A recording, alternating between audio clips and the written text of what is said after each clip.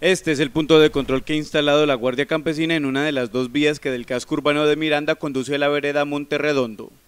Este ejercicio de vigilancia hace parte del proceso de empoderamiento que los labriegos de la zona han comenzado a ejercer en el territorio como parte del proceso de defensa del medio ambiente y de los derechos de los campesinos. Así nos lo contó Luis Elmer Fernández, líder campesino de la zona. Aquí tenemos la seguridad campesina en la vereda del Progreso. Esta vía conduce hacia la vereda de Monterredondo, donde está la zona de preagrupamiento de las FARC.